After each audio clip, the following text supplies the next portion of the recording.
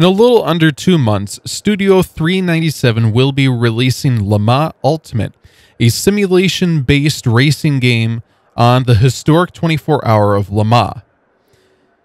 All is well, kind of, apart from one new little problem.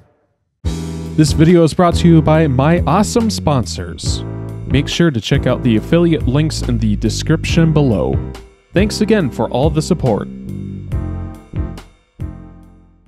Hello and welcome to the channel. My name is Matt and welcome to Automobilista 2. Now, the question on everybody's mind today is why are we playing a nearly four year old game? And the reason is actually in front of you. We are racing in the historic, maybe not historic, but we are racing the brand new Porsche 963 part of the free, temporarily, Endurance Pack 1, which includes, like I said, the Porsche 963 on the amazing Le Mans track. And also, there are a few other cars being added, part of the LMDH category, which would be the BMW M Hybrid V8 and the Cadillac V Series R. There are a couple other cars being added as well, part of the uh, GT3 Gen 2 uh, category, I suppose, which is the. Give me a moment while I take this chicane. So we've got the BMW M4, McLaren 720S Evo, 2023 Mercedes AMG G- GT3 Evo, and the Porsche 992 GT3R. Again, all part of that uh, Endurance Pack 1. So, like I said, why are we necessarily talking about all of this today? And that's because, like I was saying in the beginning, Le Mans Ultimate is coming out in just two months. Now, already, it's going to be kind of an interesting release. I'm really interested. I'm trying my best to closely follow the development and all the news going around uh, Studio 397. As many of you know, Studio 397 is owned by the notorious Motorsport Games, which has had an incredible amount of turmoil recently, losing the NASCAR license, the IndyCar license, the IndyCar game has been essentially canned. IndyCar is going back to iRacing because of all this mess. And in the middle of all of this, of this internal pressure and all these critics uh, talking about the demise of motorsport games, the poor developers in Studio 397 are going, Am I even going to be able to eat next week? On top of, you know, developing a game. So I honestly, first and foremost, I want to say my heart goes out to the developers. I hope that they're safe and sound and are hopefully not going to be part of these layoffs that will potentially come their way because of the mismanagement of higher ups way above them. But at the end of the day, too, being a little bit selfish, since they are the creators of rFactor 2, and it is highly rated on Steam, I imagine that they have it in them to make a fairly decent game. Am I expecting it to be perfect on release? Absolutely not. I'm hoping that they have enough money left over after release to be able to continue to keep their jobs and to continue being able to support the game after launch and have many potentially necessary bug fixes and patches to come down the line. So back to this. Like I said, it couldn't have come at a worse time for the developers at Studio 397 because we have an overwhelmingly positively reviewed game on Steam that releases some Le Mans content within your marketing window for your brand new game. Now, I'll be completely honest, like I said, I may have made mention about this. I have never actually played Automobilista 2 before. I've owned it in my Steam library for years because I was able to get it for cheap. And I am having an insane amount of fun right now. I'm going to be quite frank.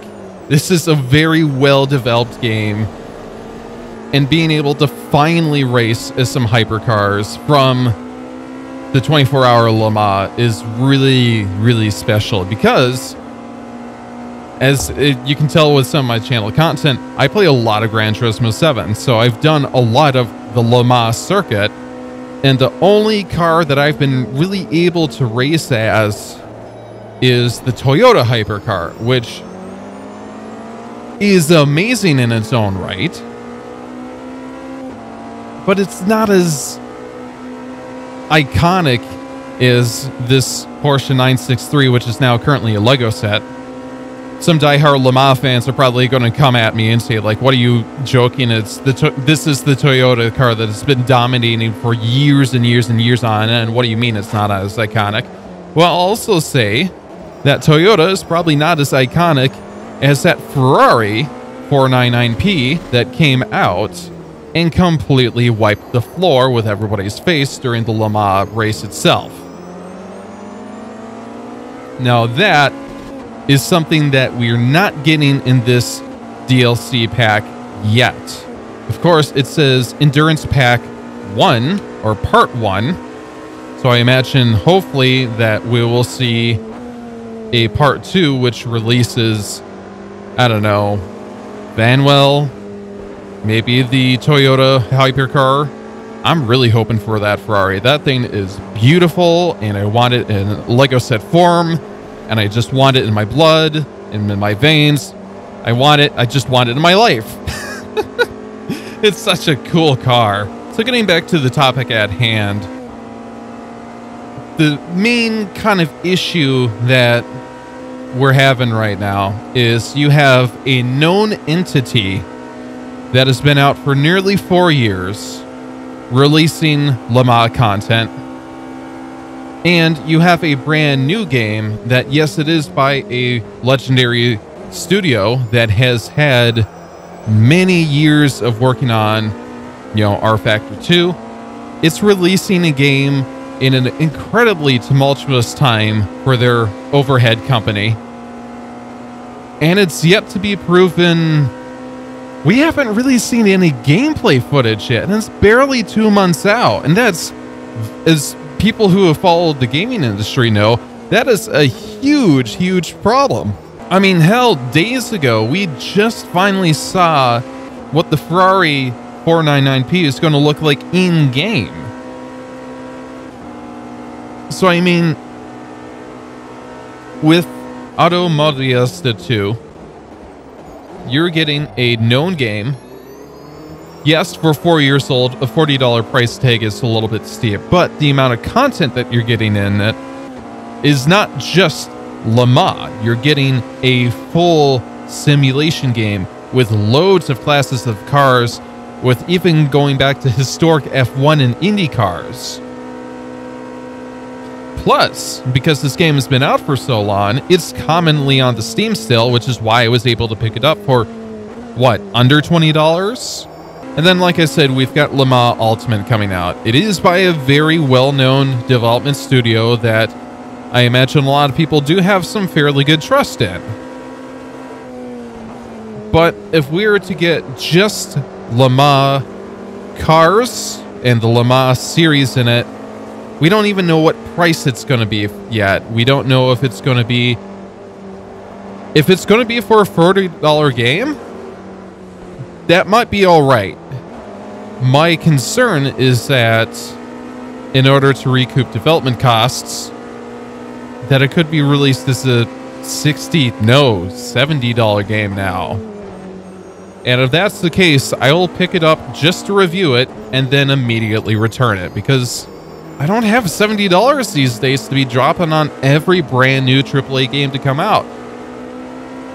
One that we don't even have like complete knowledge of yet. I mean, yeah, the graphics look nice, but that's kind of just the standard these days when it comes to racing games.